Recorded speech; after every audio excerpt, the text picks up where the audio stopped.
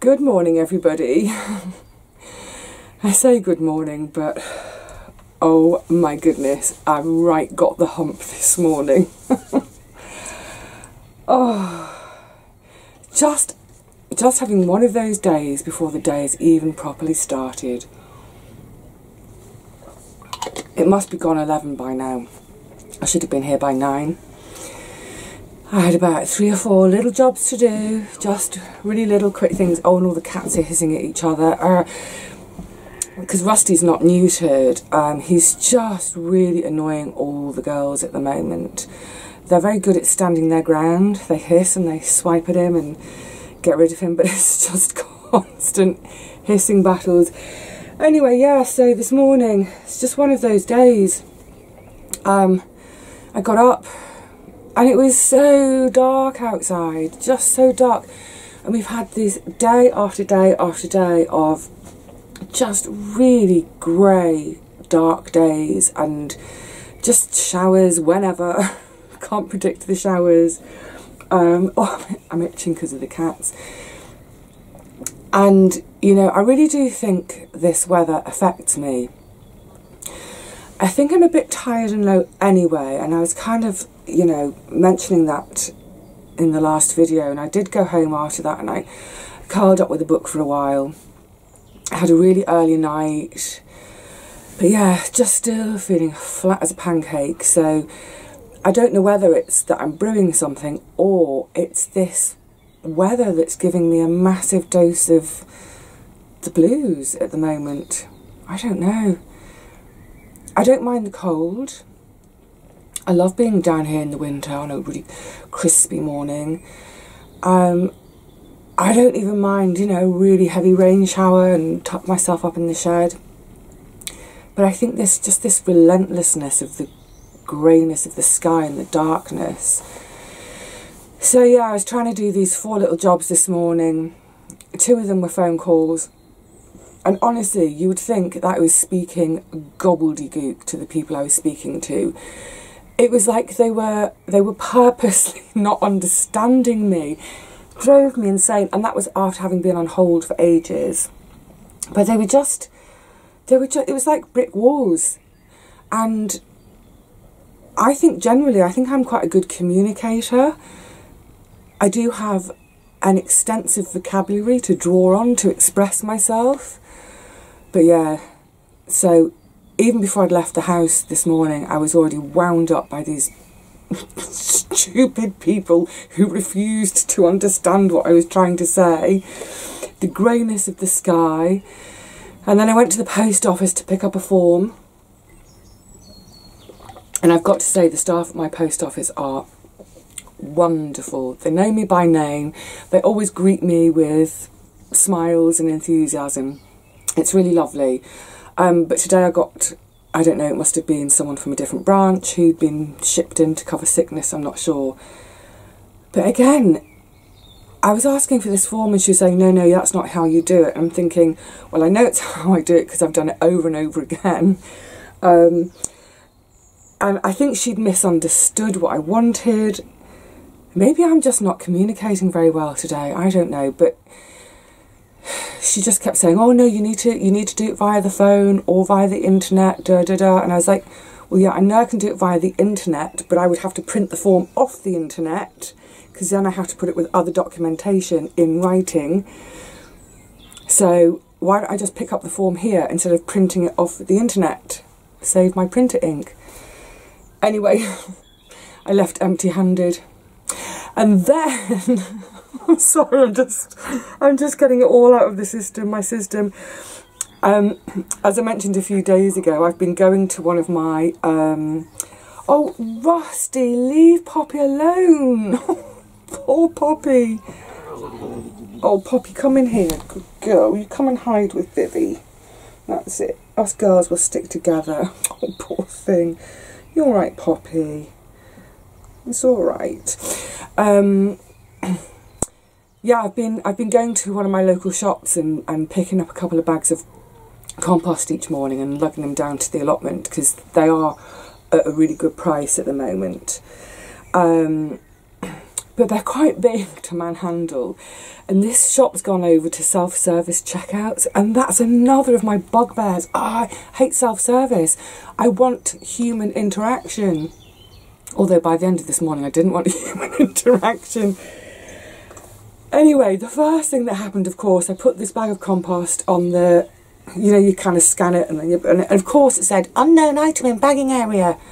Of course, it's an unknown item. It's a massive sack of compost. You stupid machine. so an assistant came over and told the machine to accept it. That's all done. Went to pay. I had my three quid in cash, card only. Oh, okay, so I put my card in, and and then I'm I'm sort of trying to manhandle them off the counter and into my granny trolley. But the granny trolley's got like a drawstring around the top and it sort of folds in on itself. So I was kind of oh, just ridiculously struggling with it. And the next thing, a lady with a charity box came and shook it right under my nose. Would you like to make a donation? Did it and started doing this spiel to me about this charity. And I was thinking, for goodness sakes, have a bit of common sense. I am struggling with a massive bag of compost, a granny trolley that doesn't want to open its aperture to allow the compost ingress. Which hand shall I use to go into my bag to get some money out to put into your box?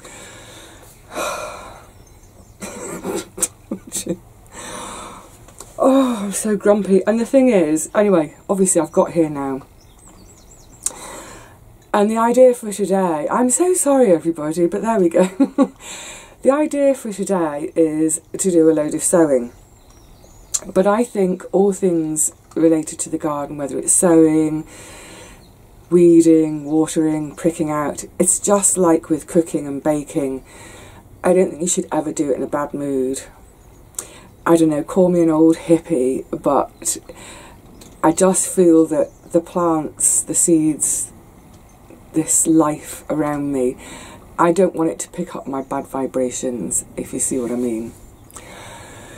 So, the first thing I'm going to do before I even think about seed sowing is I'm just going to sit outside the shed and have some cat cuddles. Poppy's just tucked in behind me here, so I'll have a cuddle with her.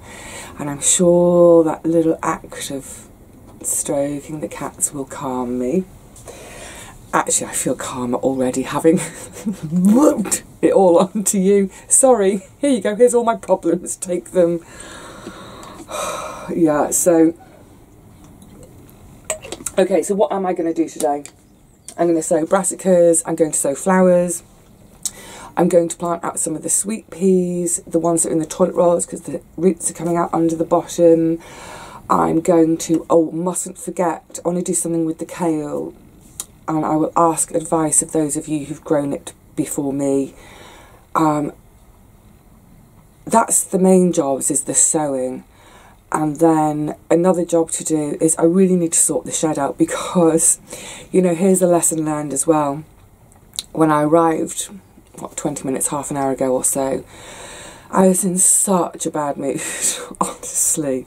I could have I could have ripped someone's head off. Not that I'm wont to violence, but you know, um, yeah. So arriving in such a grumpy mood, and I opened the shed, and it's just it's an absolute mess in here. There's just stuff. Oh, poppykins. There's stuff absolutely everywhere. Um, there's hardly room to swing a cat. Not that I would swing the cats. But the reason I do want to get it sorted is because to arrive on a day when you're not feeling great and to open the door to mess, it just makes your heart feel a bit more heavy. And also, uh, because we do keep having these rain showers and I look at the forecast and it says rain at four and then before you know it half 11 it's raining so I need to get sorted in here so that if it absolutely wellies down, I can just bring my seed sowing in here and carry on. Note to self, what do you think, Poppy? Should we have a nice bit of a spring clean in the shed today, hey? Hmm. Bless her. Okay, so I'm going to have a little bit of a cuddle and then let's sow some brassicas. the crows. But I'm definitely feeling a bit more chipper for my cuddles with the cats and for um, chatting with one of my plot neighbours. so I'm cracking on. I'm just starting off, first of all, with the flowers, just in case there's any residual mm, feelings.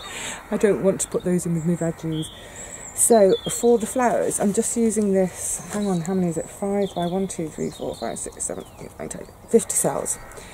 A 50 cell tray, and within each cell, I'm just going to sow, oh, just a little sprinkling, four or five of each. And then what I tend to do with all the flowers, whatever they've been in the past, cosmos in particular, once they sort of get established in these, generally I'll pop them out and just plant the whole thing. I, I tend not to thin them or prick them out. Uh, we'll see. We'll see how. In, if they get really crowded, if there's loads in there, then I will prick them out and thin them out. So this year I am growing cosmos as usual. So I've already got a couple of rows in there, and then I'm going to do a couple of rows of this one called seashell which is from my friend Jackie in Canada. And these are, are really lovely. They've got a sort of a, a whiffly, how to describe it? It's sort of like a little whiffle to the edge of the petal, almost like a sort of a, a fluting on the edge. They're very fluffy and gorgeous. Oh, she sent me loads, brilliant. So, in the past, I haven't bothered differentiating between seed starting compost, compost, multi purpose, whatever. I just use whatever I can lay my hands on. I do like the veg grow compost, but it is expensive, and this year I can't afford it. Um, but the shop that I've been using, they're doing a multi purpose and they're doing a seed sowing compost. So, actually, for the first time in ages, I've gone for a seed, a specifically seed starting compost. So, like I say, I'm just going to try about. Oh my, that was a bit heavy handed. Oops. I'll show you closer up in a minute when I do the next row. Oh, sort of four or five per cell.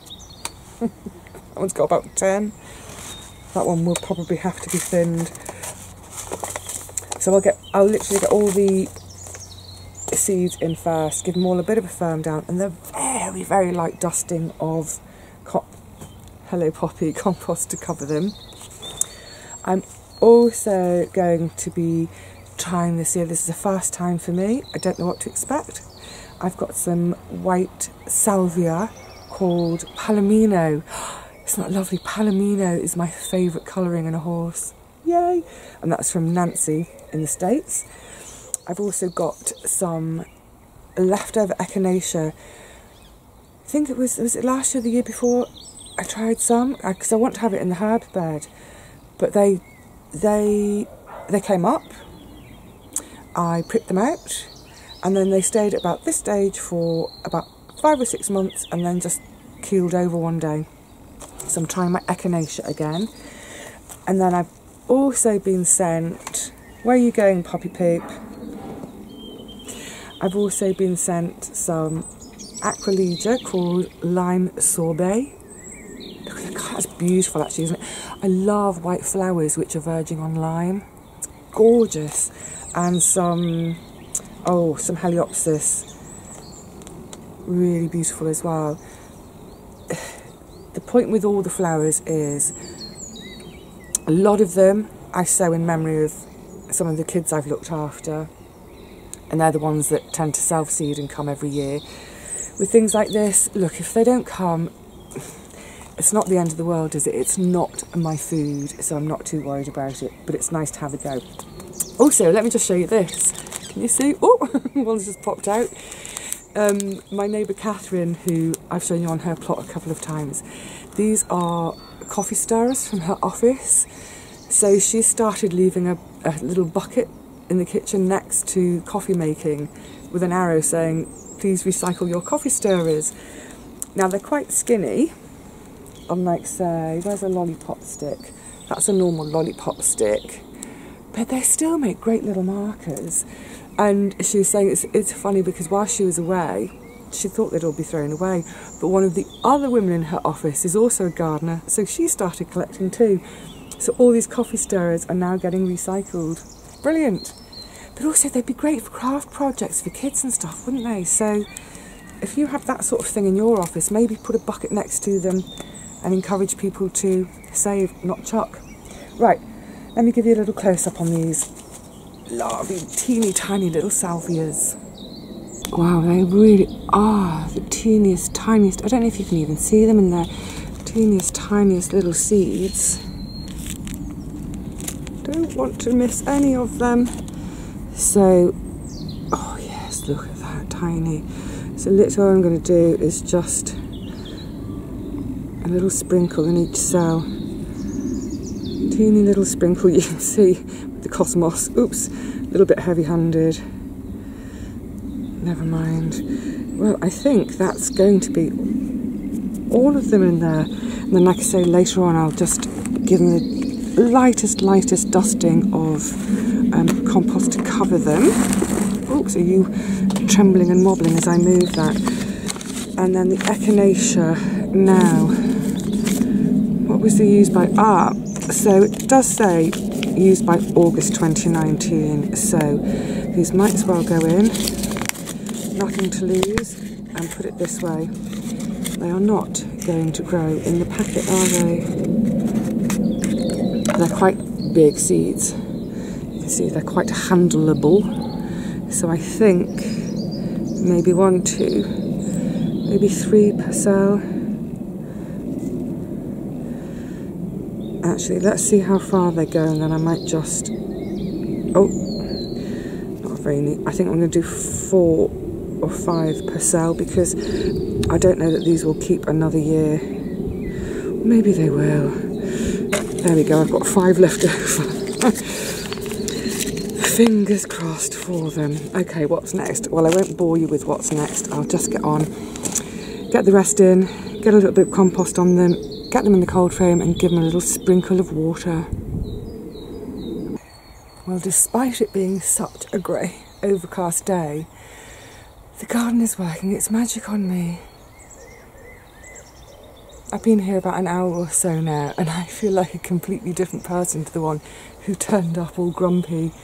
Just goes to show, doesn't it? So if you're getting up today and you're feeling foul, and you've got the opportunity, go to your garden.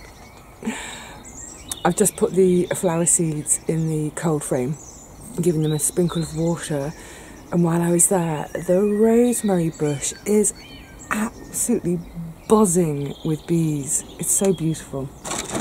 Anyway, time to crack on. Actually, I say that there's quite a lot to do today in terms of sowing, and seed sowing is one of those things. It, it does take a while. You know, you've got to fill all your little trays up and get everything in and write your labels. It is a fairly time consuming job, and I would say it's definitely not a job to rush. I'm kind of thinking to myself today, I'm going to give myself the whole day to do it. It won't take the whole day, but if I have that mindset of let it be the whole day, then I can go about it in a much more calm, chilled manner. you can tell, can't you now? So, it always feels really weird to me, somewhat counterintuitive. At this stage in early April, I'm sowing for next winter, and I'm sowing for next winter before I've even sown half of the stuff for this summer. But brassicas take a while. Um, now, the other thing is because I don't, this is for anyone who isn't familiar with my garden in particular, um, I don't have a bed. I don't have enough space to have a dedicated brassica bed at this time of year. So, what I do is I'm going to sow them in the cells now. I prick them out and I put them into individual pots, and they stay in those pots all summer. So, normally you'd be thinking about getting these out into the ground in June or July, even. I don't have the space. So they stay in the pots all summer. I give them some shade netting and keep them as cool as I can during the summer, allowing them to grow but not hopefully bolting. Um, and then as my summer crops come out, usually the first things are the onions. So as they come out, the brassicas can start going in. So quite often, if you look at lots of other channels as well, it looks like my brassicas are quite small and behind where everyone else is at in about sort of October or so when I'm planting. But it's okay, I play the long game with mine. I'm not expecting to harvest in October, November. I leave them be, and it's sort of December, January, February that I really start to tuck in and enjoy them. So, obviously, if I had the space and I had room to have a dedicated brassica bed, I'd get them in much earlier and I'd start harvesting them earlier. So, this year I'm going to grow, I'm going to try again. Oh, if at first you don't succeed, try, try again. So, the Brussels I did over this winter, which weren't fabulous, but they were a bit better than I've had before. That's my third go. So this year it's going to be my fourth go. I'm going with my Groninger again because I have spare seed. And I was also sent some red ball. I love West Coast seeds, they're brilliant. So I've got some red ball, some of those. And then I'm going to do some Vertus, that's the Savoy cabbage I do. Again, because I've got leftover seed from last year and some regular kale. Good old purple sprouting broccoli, again, leftover seed from last year.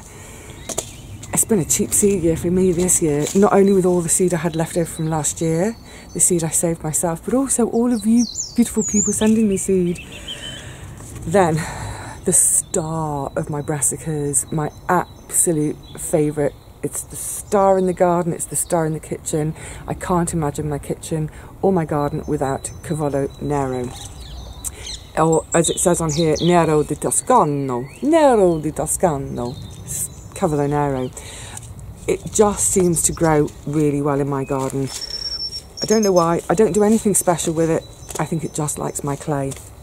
And then lastly, I'm going to do some Calabrese. Um, I bought this one new this year and I've inadvertently bought an F1. I don't normally do that, but there we go. And then I've also been sent, I don't know what its name, but this is one from Premier Seeds. So, right, let's get cracking. So these trays I'm using, again, I start them all in cells. There's 15 cells in total. I put four seeds in each cell. So for each variety, in theory, or actually not each variety, because something like the Brussels, I'll do both of them in one tray. In theory, I should get 60 plants, which is more than I need. I generally like to have between 20 and 30 of each of my brassicas. So I oversow just in case. And let's face it, you get loads and loads of seeds normally in brassica, um, in brassica packets. Just while I'm talking about that, which is my label, let me find the label. Don't forget the labels. so funny. I was watching Paul's video about sowing carrots the other day, and he was saying, "Don't forget to sow, don't forget to um, put your labels in." totally forgot to put my labels in, and I've got four, five different varieties of carrots in. Just have to watch the video back and see what I did where. Yeah, just on the subject of seed amounts. Um, that packet of Sarah Raven seeds, the Heliops, is it Heliops? Something like that. It's from the Greek for sun, Heli. Um, 10 seeds. 10 seeds. Her packets are like two ninety nine, three ninety nine. Really expensive. And when I did my Autumn King the other day, it only did one row. There seemed to be so few seeds in the packets this year. I don't know whether that's a reflection of the drought last year, but I mean, come on, guys, companies, you're being a bit stingy. So all brassica seeds look very, very similar. You see that? Look at the filth of my hands. They're all like little, um, little pellety balls, which makes them pretty easy to handle. So, like I said, I'm going to put four in each cell. I say four. Sometimes I'm a bit cack-handed and I might end up with five in a cell doesn't matter. The idea being hopefully that from each cell I will get at least two good strong plants and therefore have my 20 to 30 of each variety to keep my belly happy during the winter of 2019 2020. Where does time go? Okay, this is going to take me forever, so I won't bore you with them all. They're all going to be sown in exactly the same way. A bit of a covering of compost afterwards, obviously a little bit more than I gave to the flowers. I'll go in the cold frame, I'll give them a watering, and that'll be another tick job done off the list. And then there's a couple of things I want to do in the garden with you guys later, and there's a question I want to ask those of you who have grown the perennial kales before. You need to help me with something, please.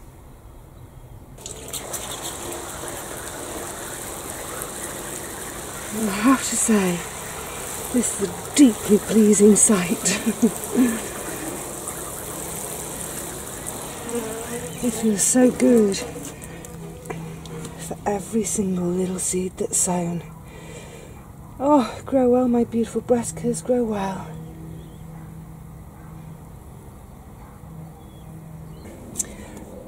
Okay, perennial kale growing experts. This is my question for you. I'm just going to remove that little frame I made to put the Enviromesh over. Um, I'm going to give it a stake today. When I first put it in, I did, a really little one down here when the plant was yay big. But as it's growing, actually let me cut that off and then you'll see. Hang on. It's kind of, it is quite floppy and top heavy at the moment. So my my instinct is to stake it. My question for you all is is that right? Is that the right thing to do? To give it some support. Um, I'll do it fairly loosely, but yeah, I just I just think it's going to get bigger and bigger and more and more top heavy. So I, I just had visions of it ending up either growing on the ground or at worst snapping completely. So, oh, oh, what am I doing? So please let me know if I'm if I'm doing the right thing. I hope so. But you'll you'll see this video in a couple of days just a couple of days anyway, so if it's the wrong thing to do, I can quickly take it out. Oh, but yeah.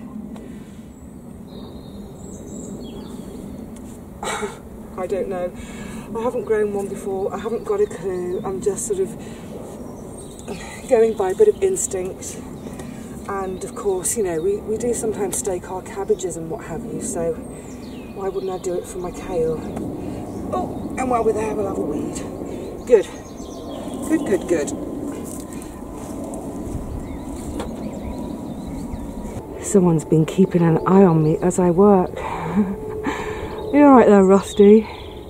You finally stopped chasing the girls, have you? What me? He says. What me? Gorgeous, handsome chap. You carry on snoozing, buddy. Isn't it wonderful when the garden fixes us? Oh my goodness, I can't believe the difference it's made to how I feel. It's just wonderful. I've still got a few things I want to carry on with this afternoon, but I'm going to put those into a separate video because otherwise this will be an hour long video of seed sowing and stuff. So for now, I'm going to call it quits with you in this video um, and then you'll see me in the next one. same clothes, same dirty hands, getting on with something else.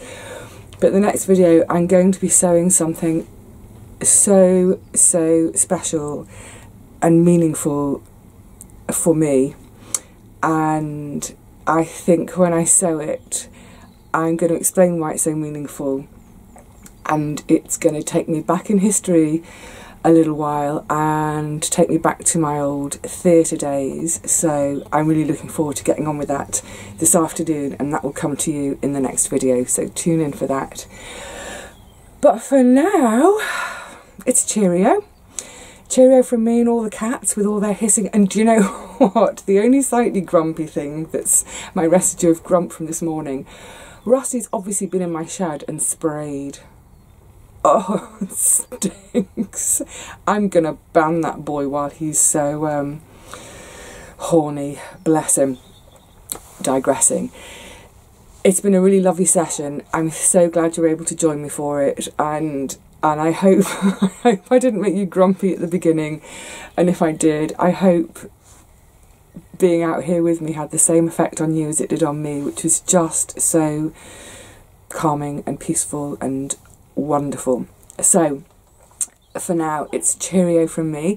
I will see you all again really soon with my next lot of seeds. But until then, whatever you're up to, whoever you're up to it with, just have fun, have joy, be optimistic, celebrate these beautiful, beautiful moments we can grab in our gardens. In the meantime, I can hear dogs out the back now. Oh, topsy turvy, funny little world of animals. I'm going. I will see you all again soon.